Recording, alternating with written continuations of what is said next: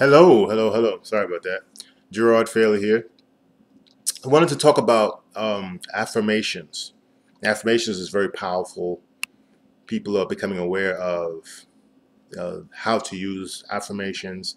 And some people are not getting the full impact of affirmations because they're not understanding the science behind it. So I wanted to make this quick video about that.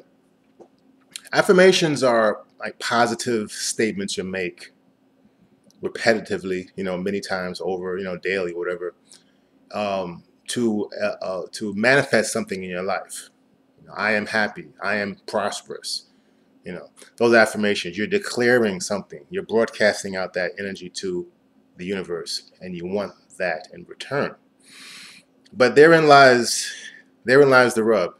You're broadcasting it out. You know, everything that you create, it, it starts from within first. So an affirmation is only a broadcast of what you have inside of you already.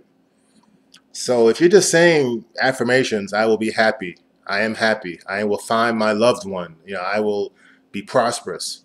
That's not going to get you what you want. The key, and people forget this don't, or don't know it, is to feel good first.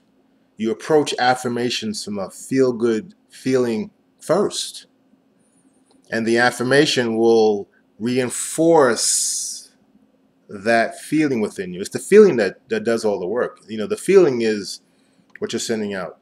You know, so a good thing to do, and which is what I do.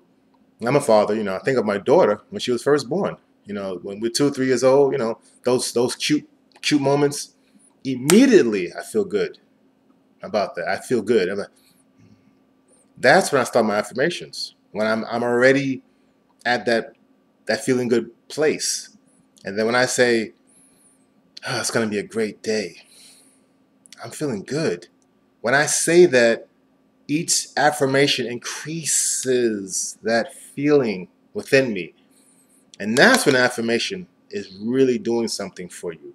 Your, your whole chemical balance in your body changes. You, the feeling is incredible as opposed to I am feeling good. Today will be a good day. Today will be a great day.